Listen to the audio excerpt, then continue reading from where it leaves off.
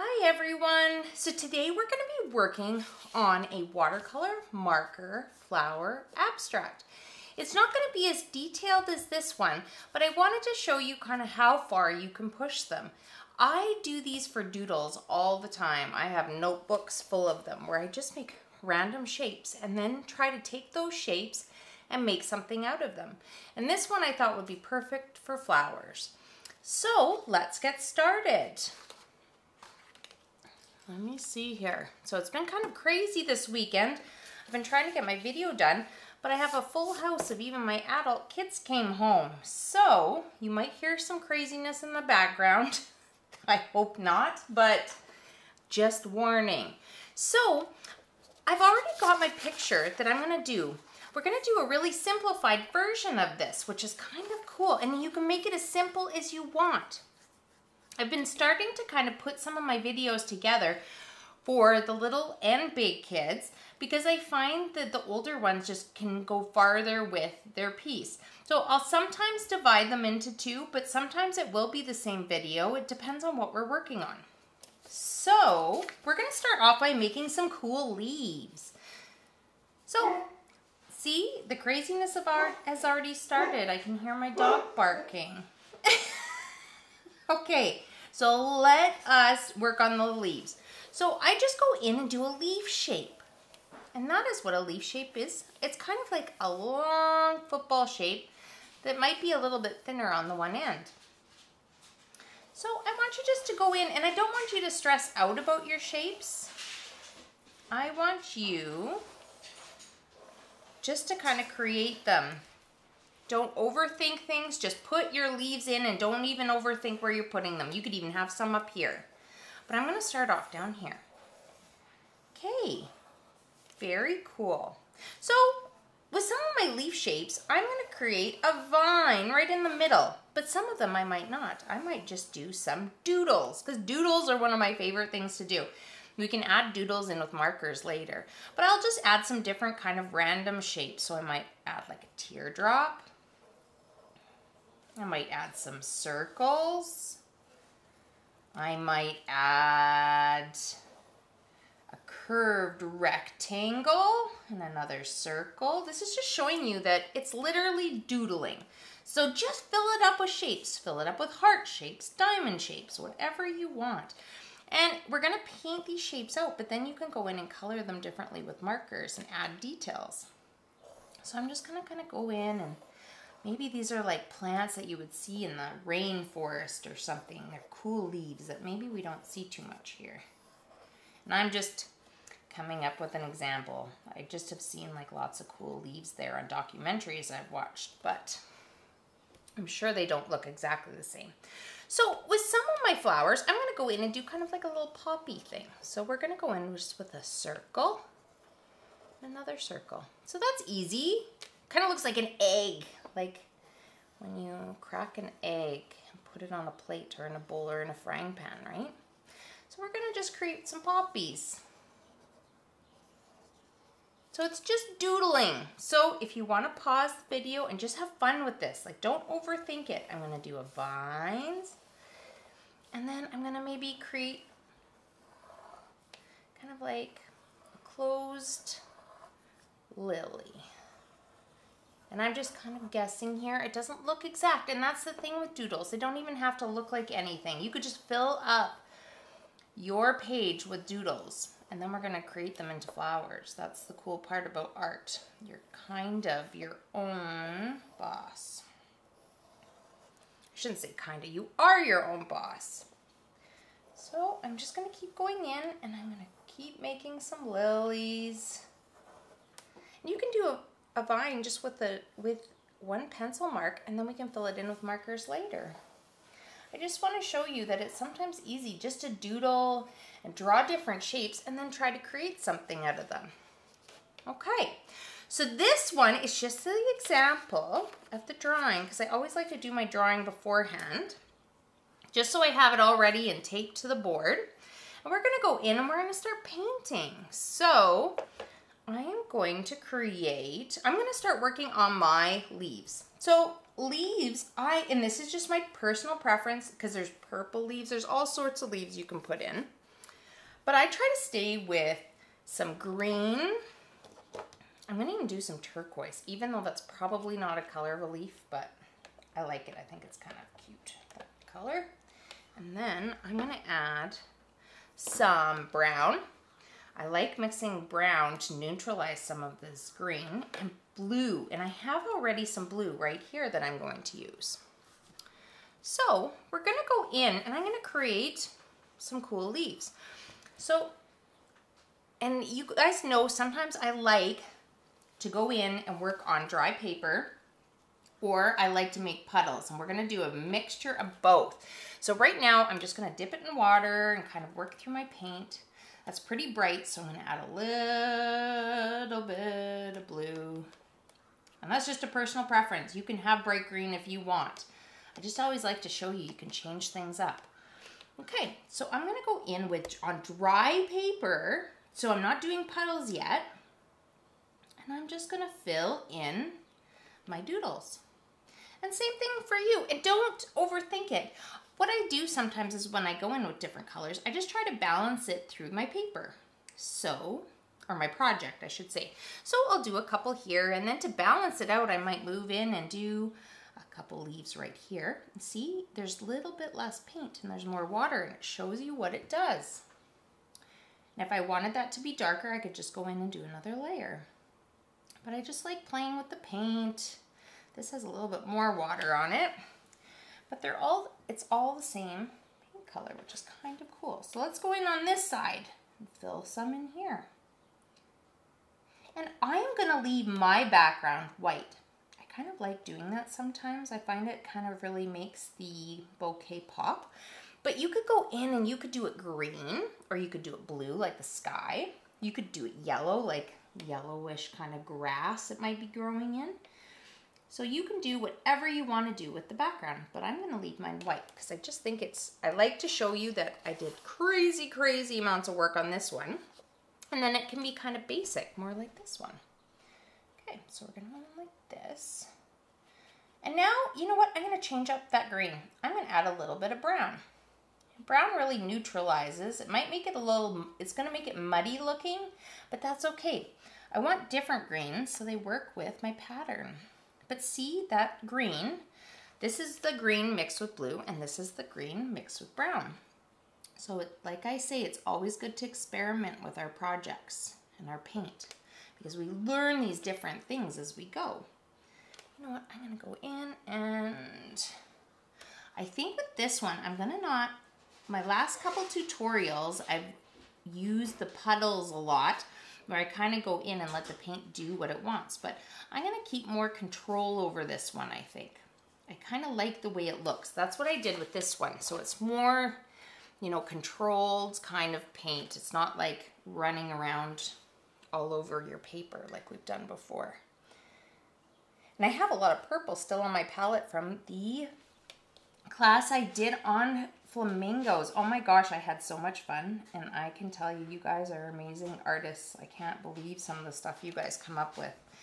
And how I love, love, love when I show something, how you guys can change it into your own. So you can make those decisions. And that is huge. That's why it's so great to be a kid because your creativity is so much different than the grown-ups. And you want to kind of hold on to that. That's what I think super important to hold on to that. I try. Sometimes people say I'm just like a big kid, and I probably kind of am, especially when it comes to my art.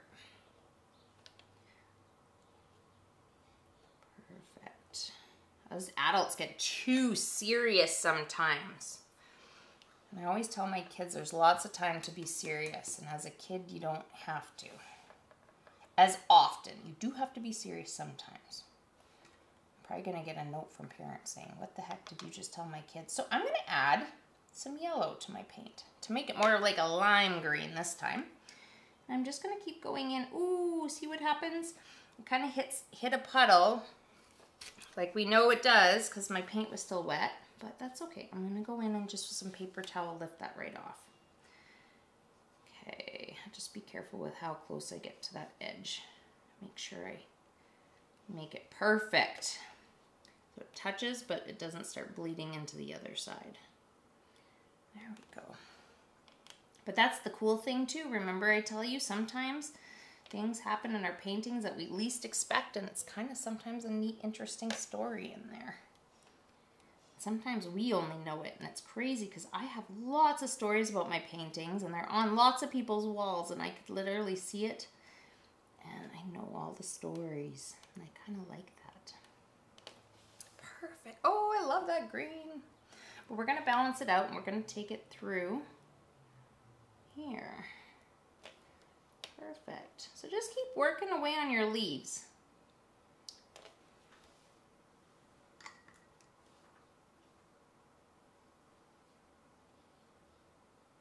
Okay, I'm to do one more with the yellow. And then I might start going in with some of my turquoise that I kind of put on my palette and mix that with some blue, mix that with some yellow and some brown and see what happens to it. Right here. Actually, it's funny because the turquoise kind of ran into my other color. That's the bad thing I guess I kind of do with my paint is I'm not as organized as probably a lot of people are with their palettes. But sometimes I just like to have fun. Ooh, look at that. So nice and deep, that green. It's actually pretty close to the other one.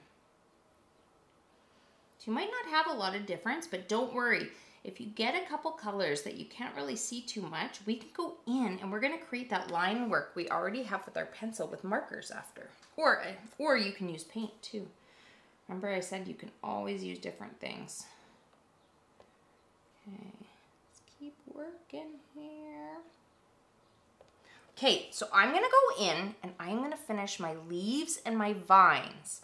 And then I'm gonna come back and we're gonna start working on the flowers.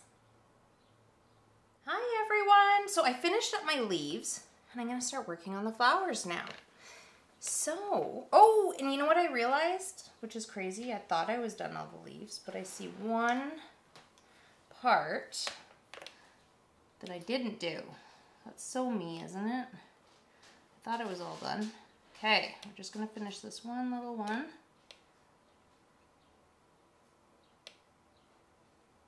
I guess when I put that pencil mark down, it was a little lighter than the others, so just didn't, there.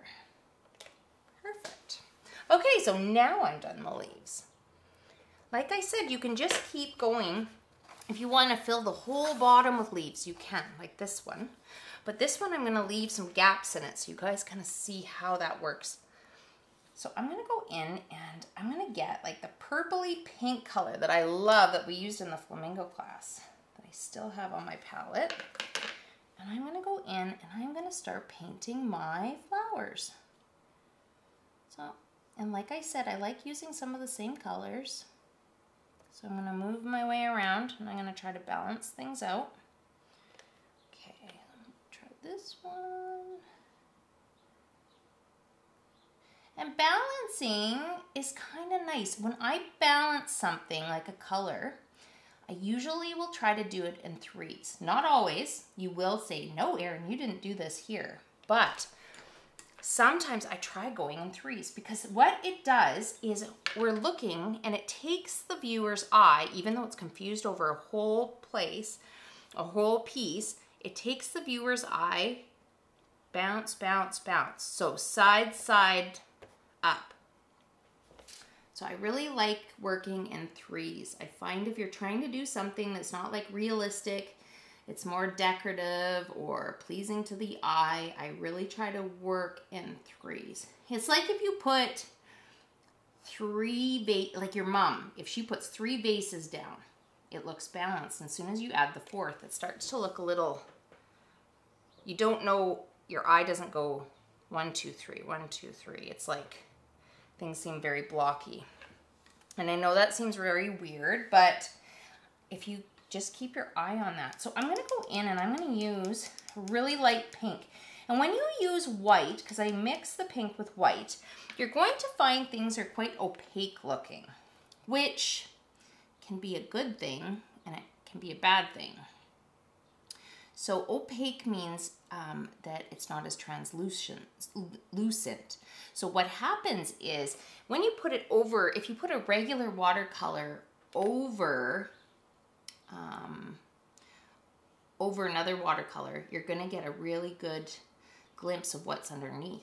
But the more opaque it is, the less it's gonna come through. It's not that you're not gonna see it at all because it is watercolor, you're going to see it less. So that's the one thing you're gonna wanna kind of just keep an eye on and remember it's all about experimenting. So sometimes we're gonna do and go, oh, I shouldn't have done it, but that's okay. That you just learned a super important lesson. So I'm gonna work in threes again. So one, two, three.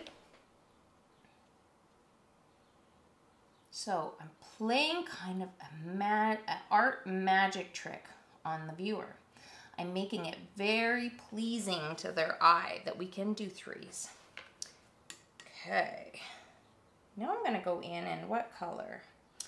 I'm gonna take, I've got muddy color here, so I might have to add some. Oh, here's a really nice dark, I'm gonna create a dark purple because I've made kind of a big mess, which sometimes doesn't surprise me because that's just how I roll. So I'm gonna take some red on my palette and I'm gonna mix the red with blue. And here's some more red. It is a little murky because there was some green in there and red and green are complementary. So they kind of cancel each other out. So I just added a little bit more of everything but I kind of really like how that worked out. It's really nice, kind of like a burgundy. I'm gonna actually bring my, see this is the part of doodling. I didn't kind of have that piece all figured out, but now I do. So I'm gonna go in with my burgundy and I'm gonna paint this flower here. And if you notice, some of them are really dark because there's no more paint on my brush and some of them are way lighter.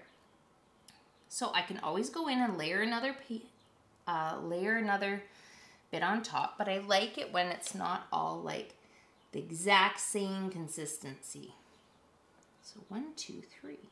I put them closer together because it's pleasing to my eye, I guess. It doesn't make total sense, but that's why you're the artist, that you get to decide these things. And of course my burgundy kind of ran into another color because I was not being careful which I guess I'm doodling, so I'm not going to put pressure on myself. And the one thing I have noticed is I have one more spot I need to add green that I didn't realize, and it was the stem. Everything in a doodle sometimes can kind of like start working together and you don't see everything. Okay, I'll just pull that through. And we're gonna go in with markers after, and that is so fun because you can create drawings on top of your paint, which is really cool. So I'm gonna go in, here's some more blue, here's some of the burgundy. So I'm gonna make more of a deep royal kind of purple than the burgundy was, and we're gonna go over here. Okay. You guys can probably hear the birds outside. It's starting to get nice. We're supposed to have like a beautiful day at the end of the week and I'm so happy. I've had enough of snow and ice and cold and jackets and ski pants for kids is no fun. You kids don't think it's fun, but you feel bad for your parents because it's no fun for us too because we're forcing you guys to wear them. Okay, two. Where's another royal purple? make a little bit more. Okay, I'm gonna put that one right up here. So one, two, three again. And it might not be that way for my leaves. It might not be that way all the time. I just kind of want to talk to you guys though about balance and show you just kind of how it works. Okay, and I kind of just did something I didn't expect to do and I took that flower all the way down like that. So we're going to try more blue now let's go in and see what we can do. Let's do some of these. And yes, I know these probably aren't real colors that you find on the same flower. And I sometimes like playing, when I play with doodles, it's my time to see what colors look like together and side by side. So it's my time to experiment and not get too concerned. And then I'll see, would that be something I do again? Did those colors look good together?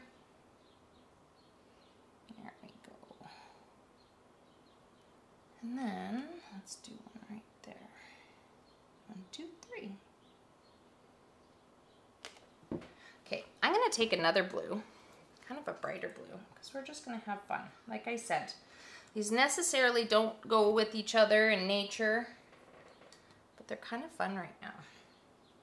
Okay, so I'm gonna take a little bit of red and I'm gonna add it to this bright blue and it makes kind of like a really cool, kind of, uh, it's not turquoise, it's kind of, it's kind of different. It's between purple and blue. We'll go with that. There's probably a real name for it, but I don't know what it is. Oh, isn't that pretty? The one thing I notice about this color, which we're going to start talking about, like I was saying, is a bit more opaque, even though I didn't add white. So I think there was probably some white in the blue tube. And that's how they got that color the way they did. Okay, let's do down here. Two.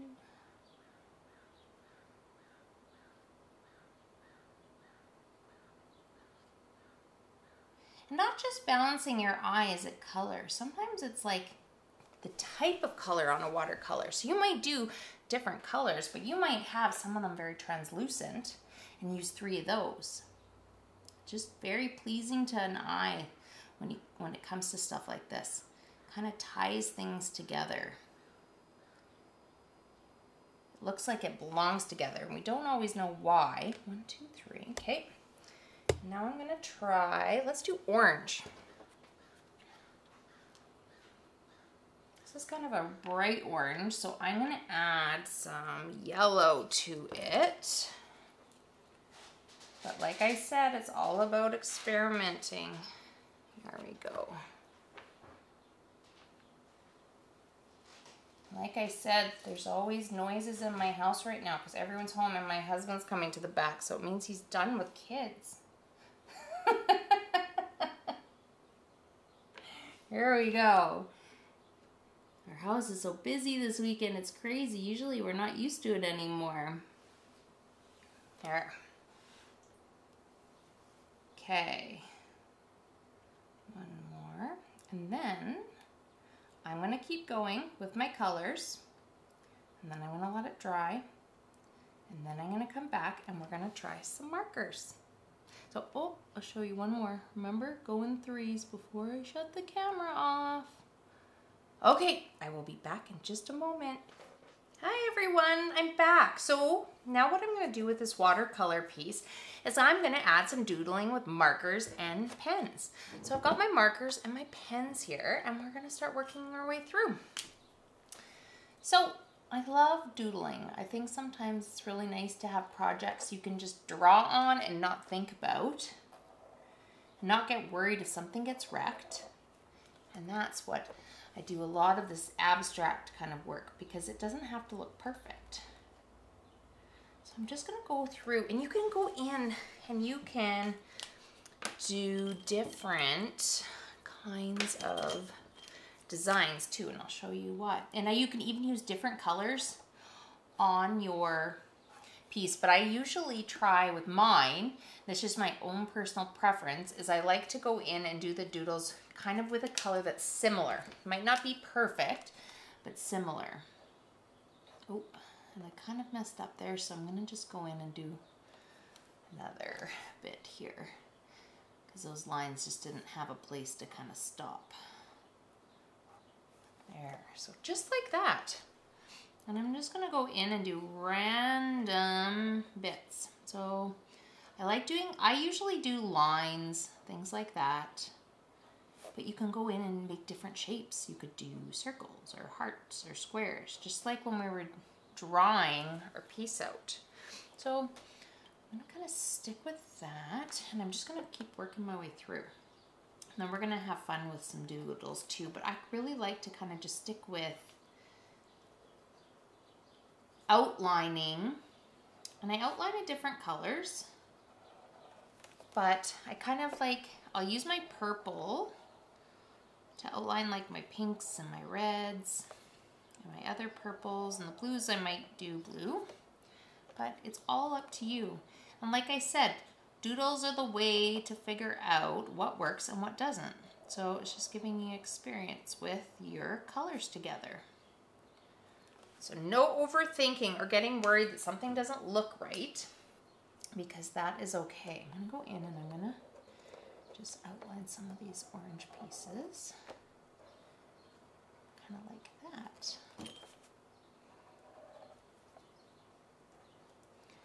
You can't do anything wrong. This is your project. So feel free, you could even draw some bugs, like some ladybugs, or you could draw, what else could you draw? Some grasshoppers, or some butterflies.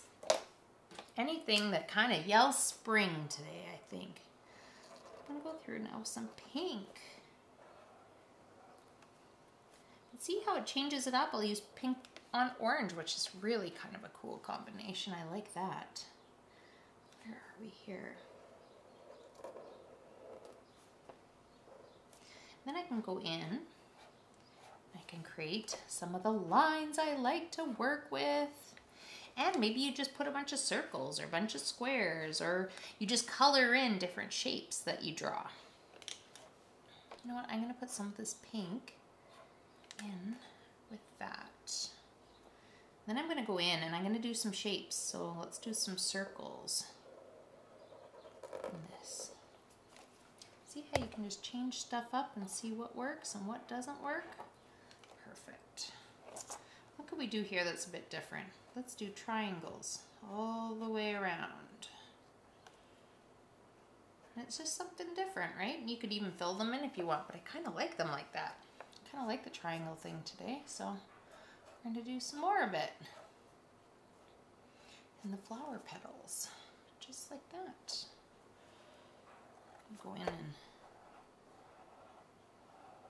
outline some more of this. And some of them that I outline, I might outline again in a different color. It's kind of fun. There we go.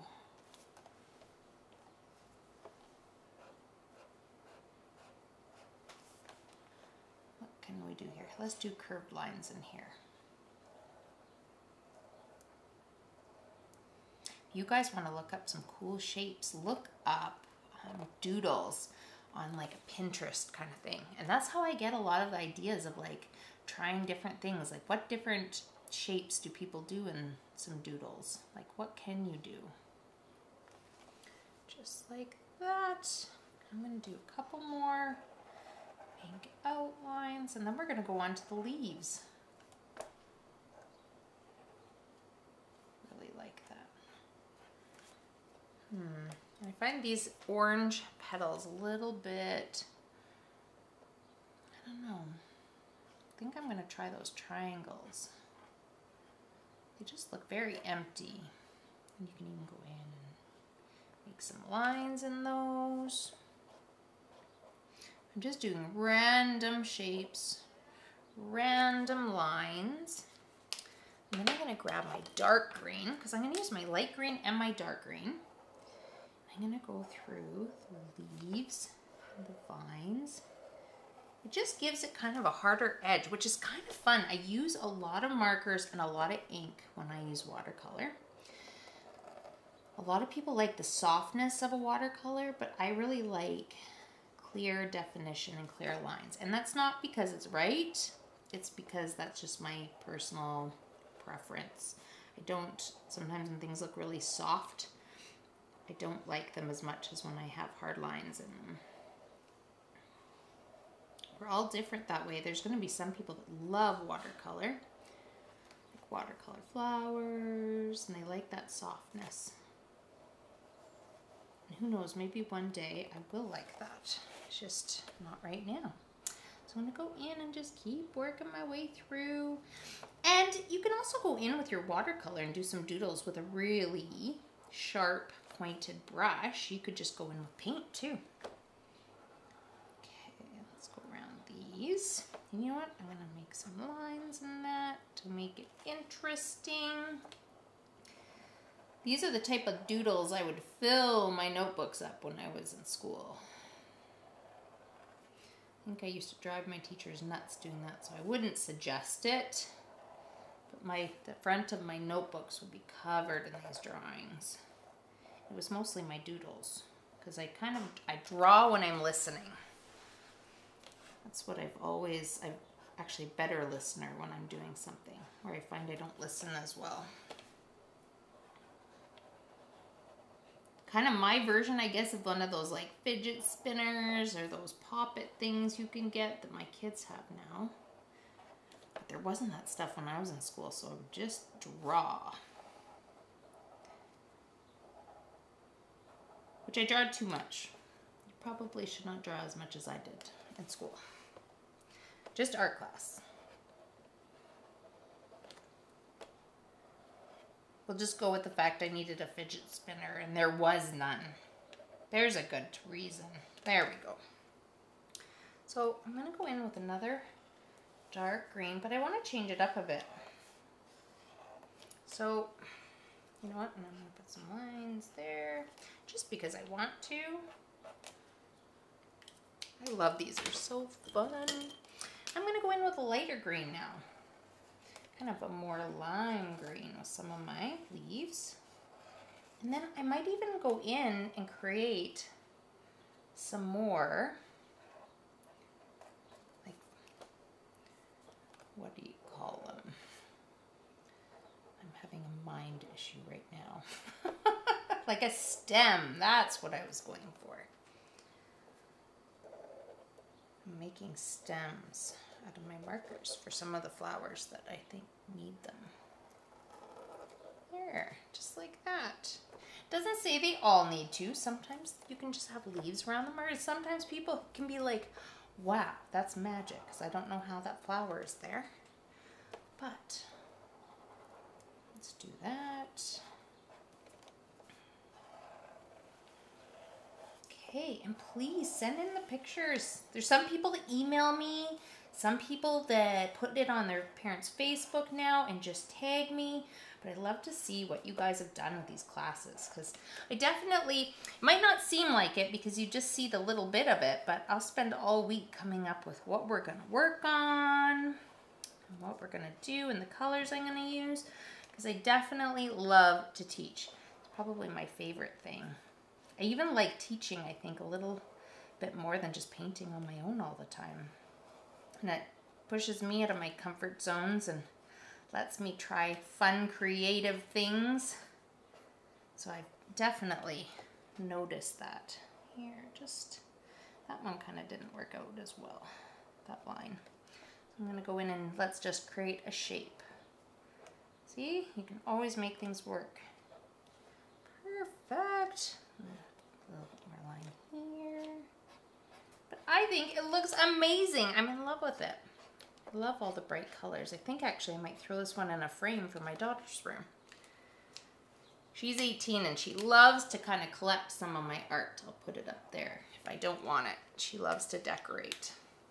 Okay, so there we go. Send me in your pictures and I'm super excited to see them. Bye for now.